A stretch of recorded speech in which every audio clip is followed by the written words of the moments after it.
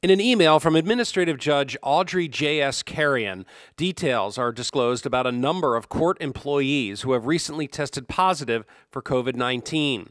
According to the email, a Baltimore City Sheriff's deputy who was assigned to courtroom 523C in the Cummings Courthouse on August 4th and 5th recently tested positive. The email goes on to say non uniformed court security officer working with the Sheriff's Department and assigned to the Cummings garage also recently tested positive.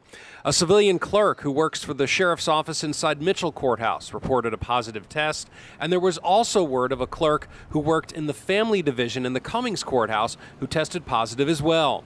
The email states that all of the people who tested positive were reportedly wearing masks and are currently quarantined, and that applicable health departments have been advised.